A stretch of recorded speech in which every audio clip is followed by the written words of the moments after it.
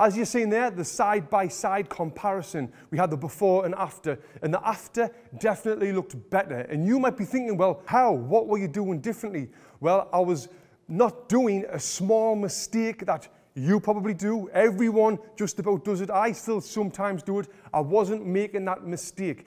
The little things in boxing make all of the difference when it's coming to your boxing form and technique. And on this video, I'm going to show you what you can be doing the very next time you're in a gym or doing boxing training that's going to help you improve in boxing. And if you're new to this channel, my name is Tony Jeffries. I'm an Olympic medalist boxer, former undefeated professional, seven times national champion, European champion. And on this YouTube channel, I give you everything boxing. So if you like boxing, make sure you subscribe to this channel, hit that bell notification for more videos like this. So what was it that I was doing? Well, it was not bringing me feet together. I see it all the time. People will be on the heavy bags, they'll throw that one, two, they'll step back, they'll bring their feet together, they'll dance on the spot, then they'll come back forward, then they'll move to the left and they'll cross the feet around like this, then they're here, and you're crossing like this. So that is bad. It's a common mistake. Like I said, I still sometimes do it, bringing the feet together. You know, it's time to have a rest. You'll switch off and you'll be on the spot. But if you continue to do that, you're going to get into bad habits. And if you think, if I've threw that one, two, and I've stepped back,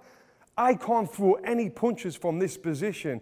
And if someone hits me when I'm in this position, I'm going to fall over. So I need to keep my feet apart all the time. And one person that pops to mind when I'm thinking about this is Manny Pacquiao. If you've ever seen Manny Pacquiao, the Filipino legend, on his feet, he's always got his feet apart. He's moving in and out really fast. And that's one way you can get more speed in your punches. I've actually done a full video on how to get more speed in your punches. The link's below. You can check that out after you've watched this one. But yeah, when you're moving around the bag, if you're moving to your left, you always want to move your left foot first, keeping your feet apart. If you're moving to your right, move your right foot first, keeping your feet apart. You never want to cross your feet like this. Because like I said, it puts you in that position where you can't throw punches. And also, if you get hit in that position, you might fall over and you're off balance. So I'm going to show you again the before and after comparison. So as you can see here, here's the before on the screen. You can see my feet's coming together. I'm, I'm crossing the feet when I'm moving left. I'm crossing the feet when I'm moving right.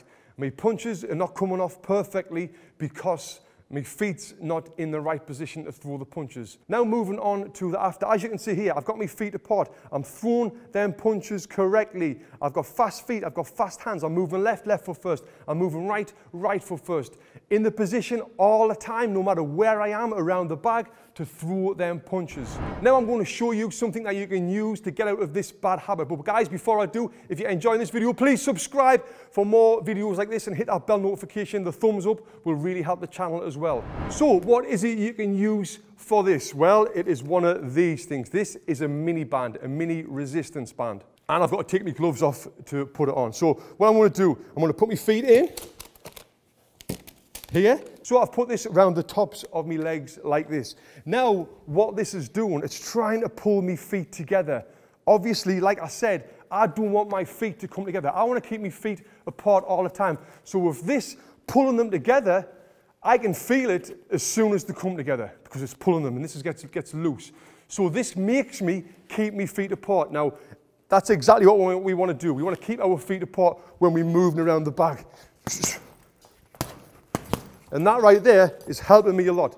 Look, the footwork is perfect here. Working on the punches, moving the left. I've got that good footwork.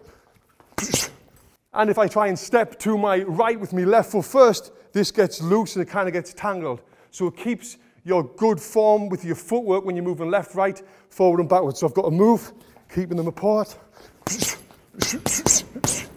And that's it there. Yeah, like I said, this is great for you to use if you in the bad habits of bringing your feet together. If you've got any questions about this video, please let me know in the comments below. I'll be reading them all. Thank you for watching.